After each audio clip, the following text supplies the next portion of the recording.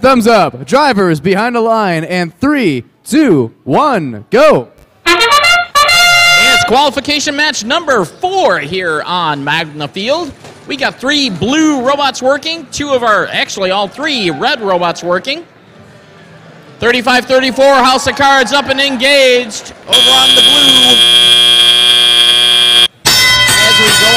Into tele-operated period with a score of blue 45, red 16.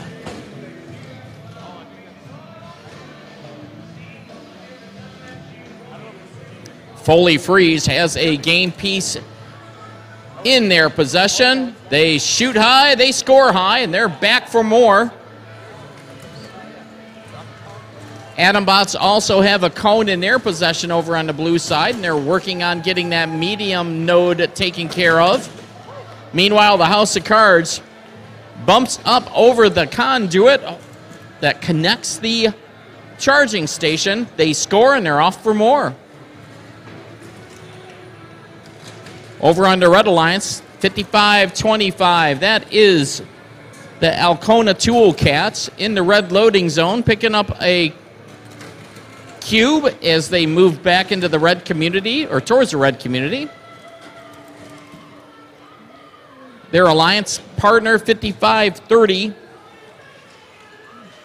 The Green Hills Lawnmower, that's the one with the green lights, also has a cone in there back over to red to score. Robo Raptors, that's 56 12. Cube in possession as they also move into the red community to score. They keep the robot on the wheels. Looks like they're going, and they score low over on red. Getting close to end game on this one.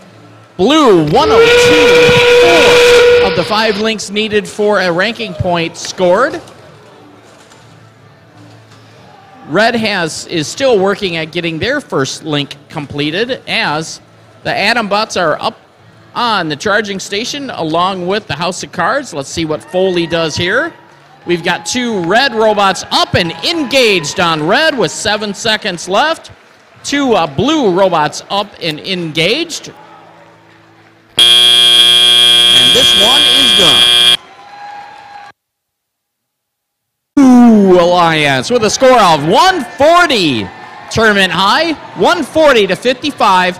Blue Alliance taking home four ranking points, our first four ranking points of the tournament.